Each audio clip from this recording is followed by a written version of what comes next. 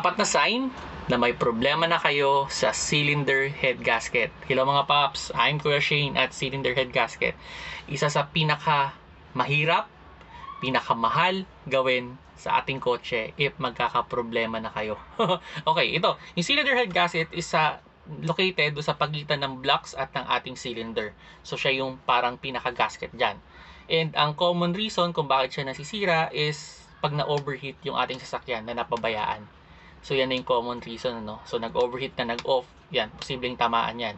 Now, uh, ano ba yung, as much as possible, bago natin pagdiskitahan kasi talaga itong ating cylinder head gasket, check din muna natin yung mga component, no? Like yung uh, water pump, thermostat, radiator, auxiliary fan motor, at kung ano-ano pa mga pyesa, no? Siguraduhin muna natin okay bago natin pagdiskitahan yan. Kasi baka naman hindi cylinder head gasket yung problema, eh, ibang component pala. Pero yun nga, paano kung cylinder head gasket. Ano ba yung mga sign? Okay.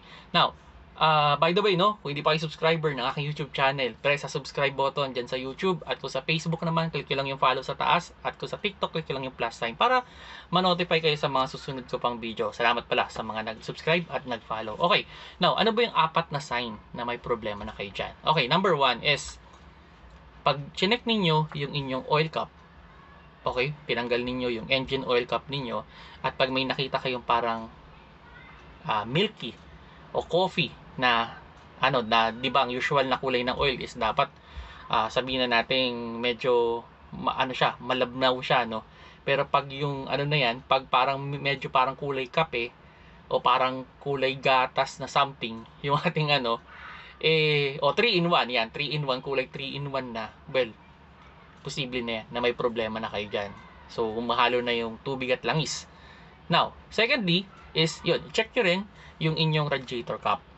So, kung wala man dito sa ating uh, ating engine oil cap, eh, check nyo naman yung inyong radiator cap. So, yun, pag may napansin naman kayo dyan na parang lumulutang na oil or parang nagkakaroon na accumulation na parang uh, parang parang maliit na ano no parang oil something na tumigas posible rin yan cylinder head gasket yan.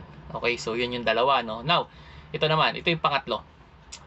Ito yung pangatlo, parang ito yung pag-diagnose na rin, no? Pero ito yung parang sign, no? So, halimbawa, malamig yung makina, nasa tamang temperature lang siya, okay?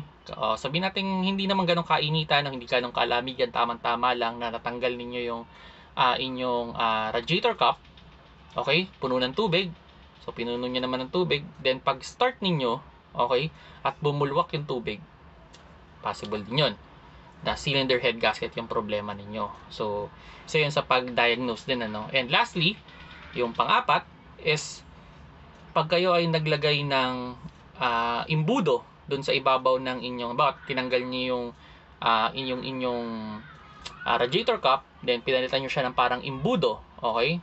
Then nilagyan niyo siya ng tubig o ng coolant at continuous yung pagbula o pagbulwak ng tubig posible rin yun.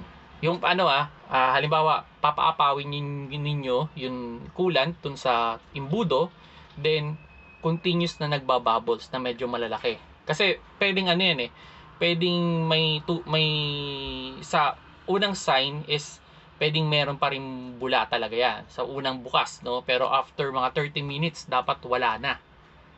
Okay? So, dapat wala nang bumubulwak kasi pag tuloy-tuloy yung ano, tuloy-tuloy yung pagbulwak o tuloy-tuloy yung pagbubbles na malakas, posible na rin cylinder head gasket yung inyong problema. So, yun, yun, yun yung mga ano, no? Yun yung mga sign na may problema na kayo sa cylinder head gasket. Well, sabi ko as much as possible bago nyo pagdiskitahan yung cylinder head gasket, make sure nyo muna na okay yung lahat ng mga component no na related sa kanya kasi yun nga medyo mahal magastos, okay, ma o magastos, medyo matrabaho, matagal gawin itong cylinder head gasket and may time pa nga na kailangan pang ipa resurface o ipa machine shop yan. So it will take long time no para matapos yan. So yun mga paps no, kung may tanong kayo with regard cylinder head gasket, just comment down below. And yun nga, kung hindi pa kayo nakasubscribe or follow, follow naman kayo para ma-notify kayo sa mga susunod ko pang video. Salamat sa panood. Keep safe mga paps.